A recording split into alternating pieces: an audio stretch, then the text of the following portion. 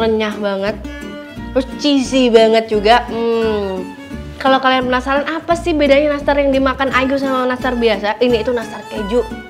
Penasaran cara buatnya? Yuk langsung kita bikin. Sini aku punya butter.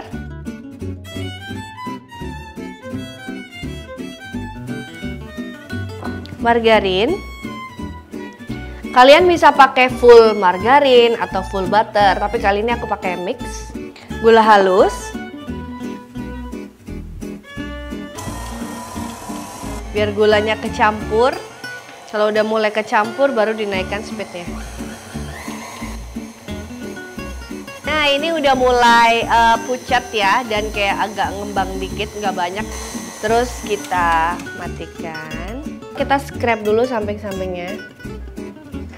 Kalau pakai tangan pakai uh, kayu itu uh, yang berbahan dasar kayu atau yang rubber kayak gini juga bisa. Oke, kita masukkan telurnya. Kita aduk lagi kecepatan rendah aja biar nggak pecah ya. Jadi kadang-kadang kalau pakai kecepatan tinggi atau terlalu lama dikocok dia bakal kepisah fat sama telurnya. Ada tepung terigu di sini. Susu bubuk, dan tepung maizena. Jadi biar rata dan adonannya cantik, itu lebih baik di ayam. Sambil kita masukkan tepungnya.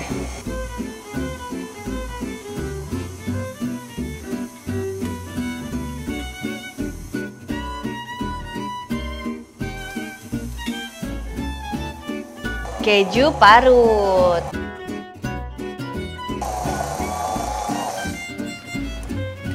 Oke, nastar adonan nastarnya udah jadi. Nah ini tuh aku mau bulet-buletin uh, si selai nanasnya. Tapi sebelum aku lanjut uh, bulet-buletin si selai nanas, adonannya mau aku masukin kulkas dulu. Biar apa? Jadi sebenarnya kalau suhu ruangan kalian nggak terlalu panas atau gimana nggak perlu dimasukin kulkas juga nggak apa-apa. Cuma kali ini aku pengen masukin ke kulkas biar waktu setelah dipanggang itu dia makin crispy gitu. Jadi atasnya tuh flaky gitu, makin kayak crisp kayak gitu. Jadi itu kuncinya. Nah ini selai nanasnya aku udah jadi. Bikin selai nanasnya itu gampang banget ya sebenarnya ya. Jadi uh, gula dan nanasnya itu uh, satu banding satu. Terus dimasak sampai dia uh, jadi kayak caramelize gitu. Oke. Ini udah aku kan dari kulkas. Sekarang mau langsung aku bentuk-bentuk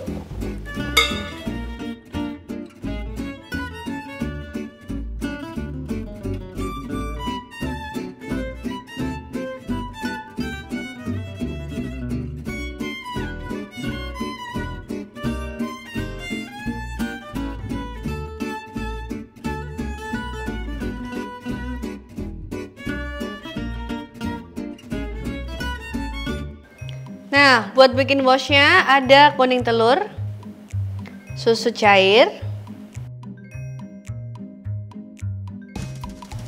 dan madu.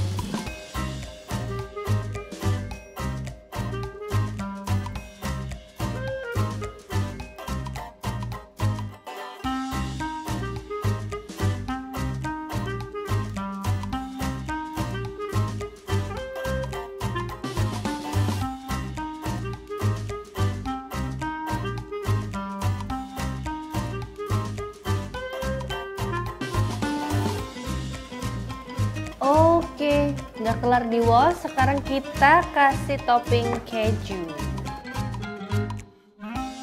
Nah, udah dikasih wash, udah dikasih topping juga keju. Langsung mau aku masukin ke oven. Jangan lupa ovennya sudah di dulu ya.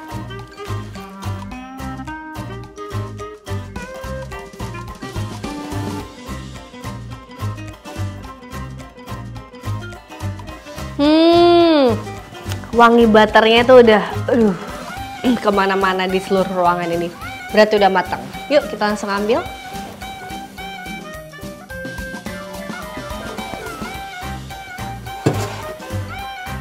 Yep, kita tunggu dingin dulu, baru masukin toples. Kita masukin ke dalam toples.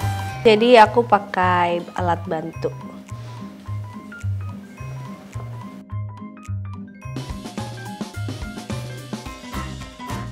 Last touch. Oke.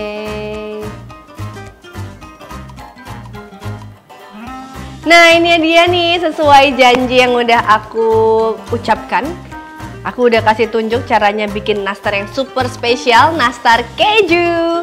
Oke, thank you banget udah nonton episode kita kali ini. Jangan lupa nonton episode-episode kita yang lain. Yang penting tetap di Masak.tv.